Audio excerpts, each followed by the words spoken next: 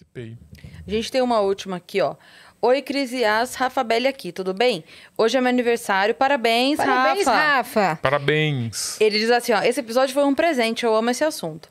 Ulisses, duas perguntas, eu vou fazer cada uma então, tá? Pra você poder responder. A primeira é, como você lida com as emoções e energias que geram ao lidar com, essas, com esses casos? No início eu ficava meio abalado. Próprio esse padre, quando ele se matou, eu fiquei bem abalado, me sentindo culpado e tal, mas aí depois isso passou. Eu acho que é, eu vou criando um distanciamento que aí eu não consigo mais ficar muito abalado. A não ser quando vem uma coisa nova. Tipo essa mãe, por exemplo, eu fiquei abalado, sabe? Sim. Então, tem umas coisas assim novas que me, que me espantam. Mas eu acho que eu desenvolvi um mecanismo que é muito parecido com o médico. Pensa no médico que trabalha numa UTI neonatal, que tá ali todo dia dando notícia triste. Ele não pode se abalar. Ele não pode sentir, porque senão ele não trabalha. Isso. Então eu crio esse distanciamento, sabe? Então. Sim. É, Eu, inclusive, tenho, eu tive uma ajuda também no início. Eu fiquei muito abalado no livro da Elise Matsunaga. Tem uma história de uma prostituta que se, se suicida. Só que essa mulher, eu encontrava com ela durante a pandemia e ajudava pra caramba, eu conversava. Só que aí quando eu fui escrever o livro, tipo seis meses depois, eu mandei uma mensagem pra ela e ela não respondeu. Aí eu fui atrás da amiga que tinha me indicado ela. Ah, eu tô tentando falar com a Penélope e não consigo. Ele falou, cara, tu não sabe, ela se matou. Aí eu levei um susto assim, sabe? Nossa, como assim? Aí eu fui atrás da mãe, que eu queria, sabe, conversar com a mãe. Eu queria que a mãe soubesse que ela ia participar do livro. Aí eu encontrei a mãe, ela ofereceu muita resistência, mas depois ela me atendeu. E ela me deu o diário. Ela disse: Eu sei quem é você, você é muito citado no diário dela. Nossa. E ela se abria, muito obrigado. Ela se abria comigo.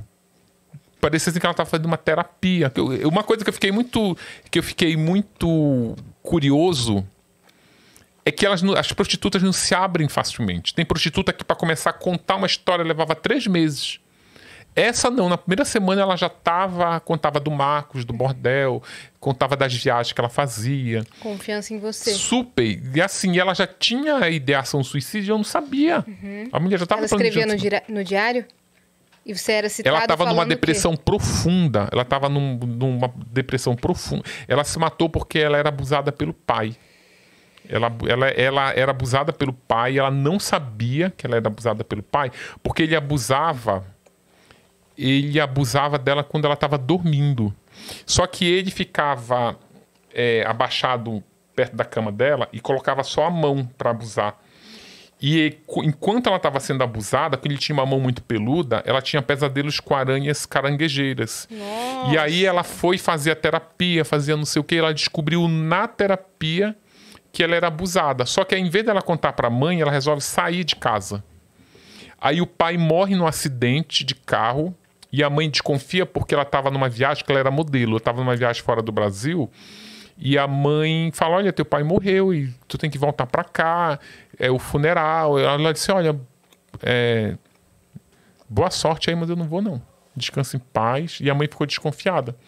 E a mãe só veio entender o que aconteceu quando ela foi pegar o diário depois de morta. aí, cara, aí fiquei Nossa, bem mal cara. com essa história. Nossa. E ela citava você como o quê? Ela citava, ela, ela dizia que que a vida dela era muito triste, que aquele dia. Ela fazia diário, diário, diário mesmo, sabe? Chegando no final do dia, ela dizia como tinha sido o dia dela. E ela dizia que, por exemplo, era um dia que ia me encontrar. Aí ela botava assim: Nossa, hoje meu dia vai ser ótimo porque eu vou encontrar com Ulisses. Ela se sentia muito orgulhosa de estar colaborando com o livro. Nossa. Você deve ter ficado bem, bem, Aí eu fico, bem mas, ó, sensibilizado por conta disso, né? Aí tu vê, na, Suzane, na história da Suzane eu não me lembro de nenhum baque emocional que eu tive, mas aí teve esse no da Elise E no da e Flor de Lis, o negócio do padre, padre. porque eu né? tinha um envolvimento direto com o passado desse padre. Mas você tinha aprendido naqueles ensinamentos de não entrar em choque. Por isso acho que você foi criando essa. É. E Essa às vezes a gente barreira. tem um- uns pensamentos cruéis, assim, sabe? Tipo, eu ficava pensando, ah, se esse padre se matou por conta dessa revista, agora que eu vejo o que ele fazia, às vezes eu penso, olha, é um a menos. Porque um predador sexual, ele já tinha sido preso, condenado, já tinha saído da cadeia em. em- sabe, o cara e fazia de novo. Não eu, tem, Eu né? sou contra a pena de morte, quero deixar isso bem claro aqui.